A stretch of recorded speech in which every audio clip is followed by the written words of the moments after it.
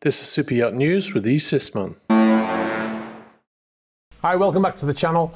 So in the last few months, at the beginning of a video, I've been showing various yachts from around the world, usually because of some relation to the news stories that we're talking about. I decided to develop this into a feature, and we'll just call it Yacht Spot, uh, for, for want of a better name. Um, and we're just going to show some photos or videos sent in by you, the viewer, to show different yachts around the world. They do not have to be in the news for any reason. They're just uh, a yacht that you see that you think is awesome. Send me some either photographs or video footage, in, preferably in landscape, and you can send them in to us. So we'll, we'll crack off today with uh, Yacht AV. Now, this vessel, you'll remember, was being in the news recently uh, on the channel. This was originally called Palladium. It's now called AV. The ownership has changed and it's now owned by Dennis Washington, uh, not to be confused with Denzel Washington. And he has um, he's purchased this yacht. He also owns another 100 meter yacht called Attessa 4. Anyway, the yacht is in uh, Puerto Vallarta in Mexico. Now, a few weeks ago, we were talking about the yacht and it was in, it was at Pier 66 in Fort Lauderdale. So it looks like since then they have traveled down to the Panama Canal, gone through the canal and come out the other side and gone to Puerto Vallarta. Now, the next boat I want to show you, this is some video footage. Now, we had this from a while ago, but because I'm just announcing this feature now, obviously we, we don't have a lot of new stuff uh, sent in by anybody in particular. So we'll, we'll do this one. It's a sailing yacht Black Pearl. This was in Tivat in Montenegro last year. Now the yacht was owned by a Russian named Oleg Burlakov, but he died in 2021 from uh, COVID, according to the official Instagram page of that boat. So if you've got any footage or any photos that you want us to show in this section of the video, please be sure to send them in.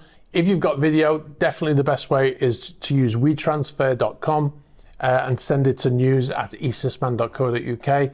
Uh, if it's just one photograph, you can just email it to, to that email address. I'll put the information on the screen. Uh, we get full resolution videos if you send them through WeTransfer. If you send it through WhatsApp, etc., they get reduced down to very small and we can't use them effectively. Also, let us know if you want a credit or not. All right, so we'll move on to the next story, and this is about Motiyacht Axioma. Now, if you saw the breaking news story from yesterday, you already know most of what I'm going to say.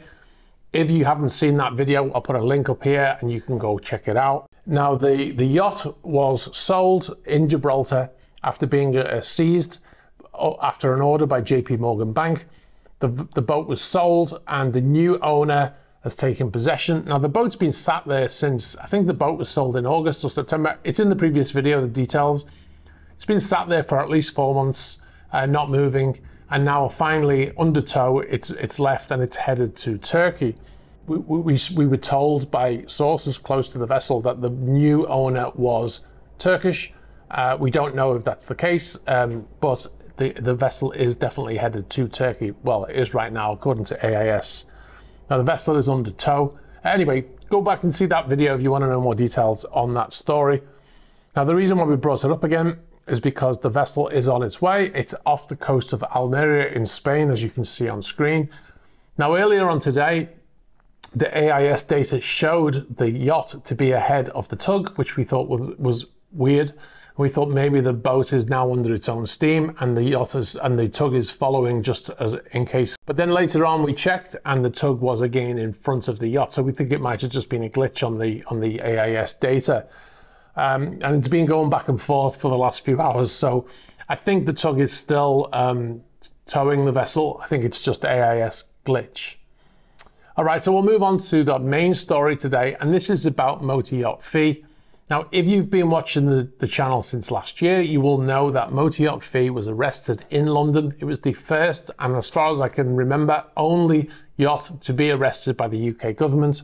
However, the owner, uh, Russian billionaire Sergei Naumenko, he was not sanctioned at the time uh, by the UK government or by anyone else in the world to come to that. The boat was in uh, London to collect an award from a, a super yacht award ceremony when it was um, refused permission to leave, and it, has been there ever since. Now, a year, almost a year has passed, and the owner is still not on any sanctions list around the world, including the UK. The good news is, from the boat's point of view, is that is that the government is now talking to the uh, to the owners of the vessel, according to sources close to the vessel, and they are trying to move the vessel to a more suitable location. And this is for a few reasons. Now, the yacht was is in Canary Wharf, which is not really designed for long-term um, storage of any vessel. Um, and the vessel has got some issues with it because probably because it's been sat there for so long, it hasn't had any maintenance period in that time, and they can't get equipment through to the boat in its current location. There's no road access uh, to to the location of the boat, um, so it's very limited. Now they've got some electrical issues as well, which is preventing some of the equipment from working properly, and they're worried about a fire hazard. Uh, the vessel is close to an apartment building, which is very close by, a few meters away. And, you know, the boat has like 60, 70,000 uh, thousand liters of fuel on board.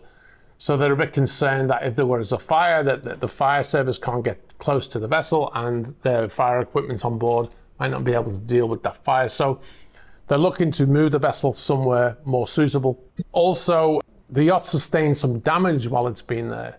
Now there was a non-motorized pontoon that was moored further up, up, up the river there. And um, one night, some people let that loose and it drifted down and it's damaged the port side of the vessel.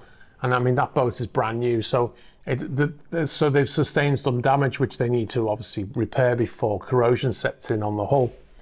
So that is good new- the good news for the boat, um, that and, and also good news that the government is finally talking to the boat because for a long time, there, there was just radio silence uh, when uh, they were trying to be contacted, which included us. Whenever we tried to contact the government about this story, we never got a reply or, or a statement or anything from back from them. So I'm glad to hear that they're now uh, looking at um, you know assisting the boat because the boat is in in some trouble there. Uh, so that's a good thing, isn't it? Even if it's just for the safety of the people who live in that area, that's a good thing for uh, for those people. So that is the news. Um, what I'll do before I go is I'll just remind you to check out our Patreon page. Uh, remember to go to patreon.com slash esysman. We've got uh, a lot, we've had a lot of new patrons in the last couple of weeks. Uh, you'll receive exclusive videos not published on YouTube.